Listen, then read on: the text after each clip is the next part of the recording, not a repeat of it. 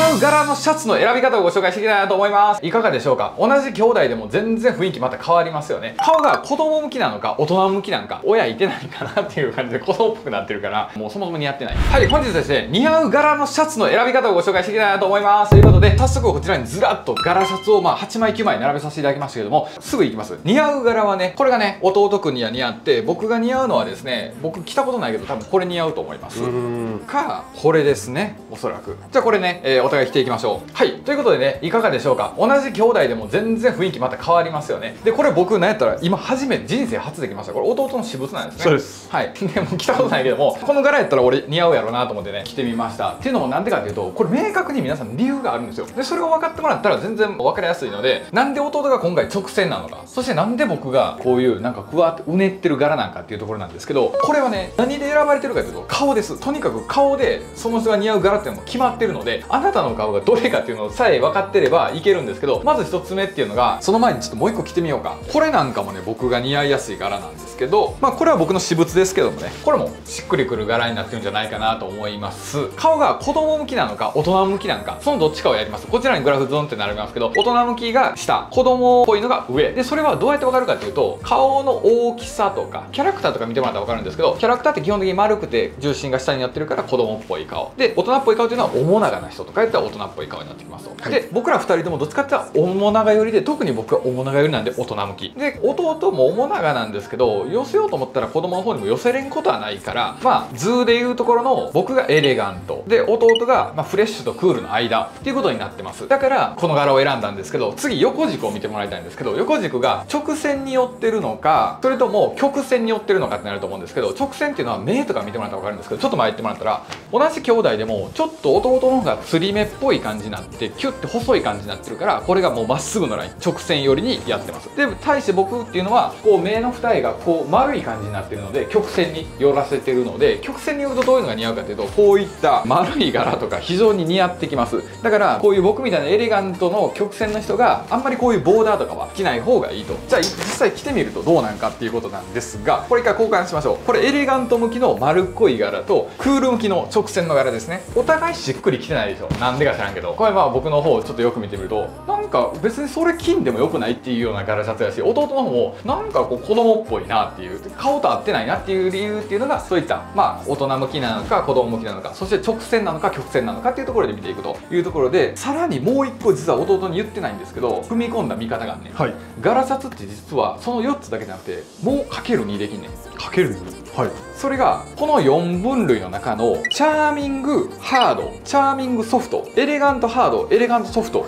でクールハードクールソフト。フレッシュハードフレッシュソフトに分けてるねはい。ということは8タイプになると。そう。厳密に言うと、うん、でそれのハードの人がより似合う。なるほど。だからエレガントやから全員似合うっていうわけではなくてその中でもハードの人が似合う。そう似合う。じゃあそのハードの人っていうのはどういう人なの？何かっていうと、はい、特に柄物ってそうなんやけど単色って、まあ、これはどっちかっていうと目薄いやん色味が、うん。はい、似たような色味でこう並んでる感じかなと思うので、うんうん、まあ、そんなガラガラ感もないけどこういうはっきりした柄、うん、もういかにも柄ですよっていう柄とかっていうのはハードタイプの顔の人が似合う。でハードタイプの顔の人でどういうことかっていうと例えばパッて顔を寄せた時に眉毛が濃いとか、ひげが濃い、はい、こういう人はハードによってくるうん。じゃあ濃い人の方がハードになりやすい。っていうことは同じく例えばエレガントでハードって言ったら分かりやすいけど、うん、阿部寛みたいなこの、はい、テルマエロマエみたいな、うん、阿部寛とかがこんなん着たらめちゃくちゃ似合うのよ、うん、確かに。あれはハードや。ストライプやボーダー着てるよりかは柄着てる方が似合うよね多分で、えー、金城武。はい、うん、竹野内豊。も似合う、濃いよね。確かにね。けど薄い人。バナナマンの設楽さんとかはどっちかというと柄はちょっと苦手かもしれない。けど同じエレガントでぜひ。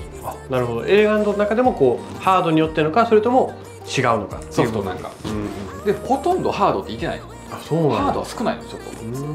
だから GTO の池内さんとか、はい、あの人もハードやねだからもう柄とかめちゃくちゃいける、何でもいける。なのでまずは顔としてハードに寄ってるのかソフトに寄ってるのかそれでこの4つの中でどこに似てるのかっていうところで柄の種類を選ぶ。直線的な方がいいとかこれもどっちかって言ったら直線的な感じ、まあ、チェックというかまあこれ曲線でもどっちでもいけるけどまあどっちかというと直線っぽい感じだからより多分似合うと思う、うん、俺よりも似合うとでこういう丸っこい柄とか等間隔じゃない柄とかっていうのは曲線になってくるのでこういうのは似合いづらい。あそっちの方が全然似合う、うんうんうん。さっきのあのヒョウ柄ヒョウ柄よりヒョウ柄子供かなと思ったけど、うんあ全然よだからその場合どうやってハードにするかっていうとうん。ひげ生やす人がいてたりとか,、はい。たまに目細いんだけどひげ生やしてる剣道小林さんとかあれってハードによってるのめっちゃ。なるほど。顔タイプ的にはフレッシュとかなんかな、うん。目も細いしちょっと丸顔やからはい。フレッシュに寄ってんねんけどもあれ数値の測り方も実はあんねんけどそれちょっと一旦置いといて、まあ、ざっと見た感じフレッシュなんやけどひげバッて生やしたりとか眉毛が濃いとハードにグッと寄ってくるからレーザーが似合ったりとかこういう柄もシャツとかも似合うと。だから同じフレッシュに入ると思うけど、剣道小林さんと顔全然違うやんか、うん。でも剣道小林さん似合うのはひげとかその濃いっていう感じがある、ハード系に寄せてると。そう。でその時とかやったら俺とかもそうやけど眉毛描いてんねんこれ。うん。描いてるっていうかこれアートメイクで入ってんねんけど、はい。そうすることによってもハードによる。うーんなるほど。しっかりこう目立たすっていうそう。前あのアートメイクしてない時ってこっち今写真出てると思うんですけどその時とかっていうのは柄ちょっと似合いづらい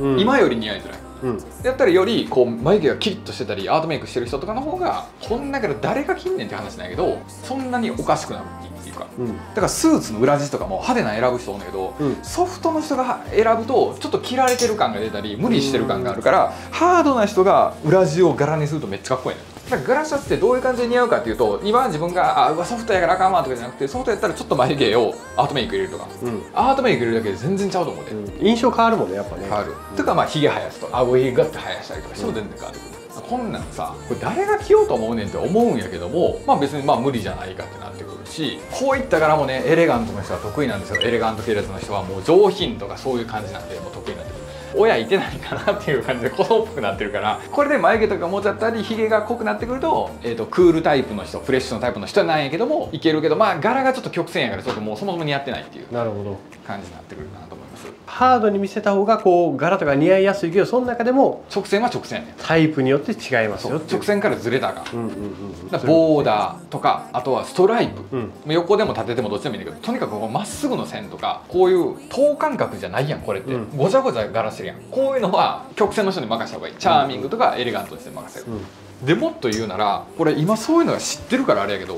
俺知らん時とかやったらうん。別にこれ見て弟がこれ弟の私物なんですよ。えーって思うけど今となってはああなんでこれ買ったのかなと思うけど実際着てみてどうやった？反応とか。良かった？今まで着てる中で。うーん。悪くはなかった？別に悪くはないかな。でもより似合う柄ではないかもしれんないもしかしたら、うんうんうんこんなんはもしかしたら俺の方が似合うかもしれない柄的にも多分ねそのあの顔タイプもそうやねんけどカラーもやっぱあるじゃないですか。その通りですね、うん。なので次はカラーでいきたいなと思いますけどカラーはえー、と白いのが得意な人と黒いのが得意な人っていうのがあって、うん。まあ、よく4シーズンとか言うけどそのことを無視して一旦白いのが得意か黒いのが得意かっていうので T シャツもいけるから。はい。実は白系が得意やん。そうですね。俺黒系が得意やねうん。だから白 T 着ててあんまかっこいいって言われることないね、うん。だけど黒を着ると一気にかっこいいって言われるんやんか、うん。まあそんなことないんですけどもね。言われたりするってことは得意な色がみんなあるから、うん。じゃあそれで同じくじゃあ黒を着てもらったらどうでしょうかと。はい。ベースの色だけ見たら全く似合わない色をお互い着てます。僕が白がちょっと苦手なんですけど、まあ、弟は黒が苦手。でなったらちょっともったいない。お互いもったいないなと思うと思うんですよね。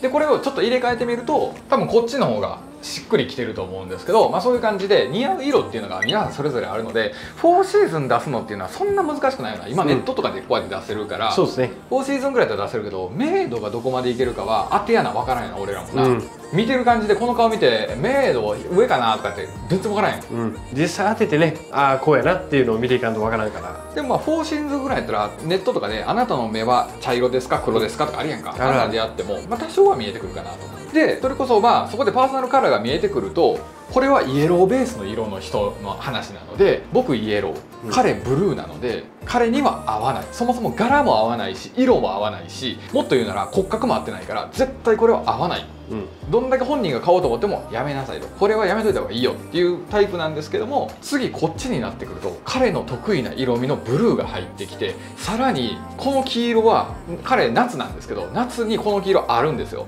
でさらに言うとサイズの骨格的にもこれ合ってくるねうん。だからよりこう綺麗やと思う。ちょっと一回着てもらいましょう。いい感じだね。すっきりしてて。腕とかもちょうど見えてるしこう肘がバーンって隠れるのはちょっと苦手なんでどっちかって言ったらこれぐらいすっきり見えてる方がかっこいいんじゃないかなとは思います。シルエット的にはね僕もねあんまりこういうゆったりしたのは得意じゃないんですけどまあガラシャツってどうしてもゆったりしてるの多いもんね今な、うんあんまぴったりしたガラシャツ着てたら逆にこうちょっとお姉系になってしまったりするかあーまあそうか、まあそんな感じでね、えー柄を選んでもらったらいいかなと思います。まあ復習としてはとりあえず顔でとりあえず柄っていうのを選ぶから、うん。こっから下は誰もみんな一緒なんですよ。でもこことのバランス顔とのバランス見ていくのででバランス的にうんちょっと厳しいなとかって思ったりしたらなんでなんかなっていうと目の形とか見てもらったり、まあ、顔の長さとか、えー見てもらったり普段顔丸いよねとかうん。顔長いよねって言われるので、まあ、どっちなんかなって考えてもらって、うん。まあ、目も俺細いかな俺丸いかなって言って丸いねって言われたらエレガントやし細いねって言われたらクールやしみたいなうん。感じで見てもらうとより似合う色間違った買い物が減るので、まあ、そういう感じで似合う柄っていうのを見てもらえたらいいんじゃないかなと思います。